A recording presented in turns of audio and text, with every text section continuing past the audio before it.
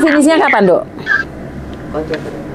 finishnya itu bulan satu oh, di paspor itu tanggal 3 kemarin aku habis nganterin paspor ke kos WB Ha, terus habis itu maji kamu yang lama ini minta perpanjangan visa.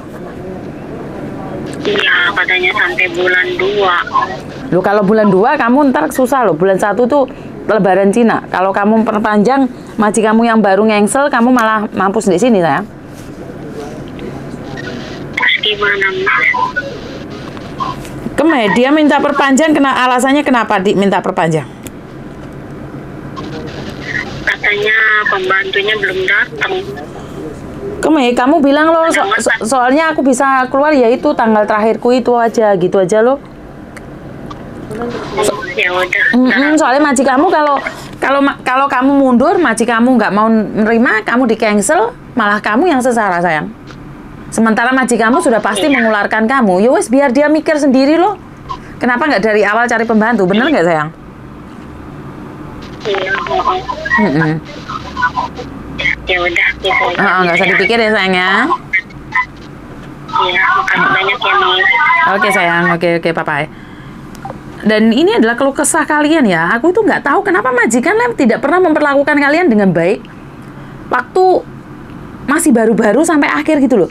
Kenapa lek ada butuh itu majikan tuh memperlakukan kalian dengan baik itu? Itu yang saya tidak pahamin.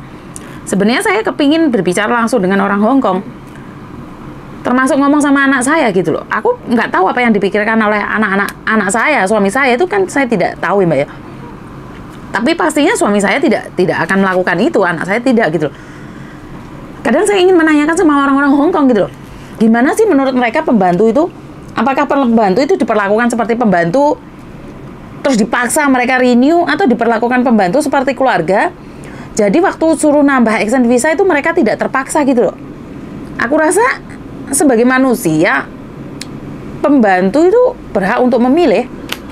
Gak usah dipaksa kalau kamu perlakukan pembantu dengan baik yo cecene ku pasti mau renew loh.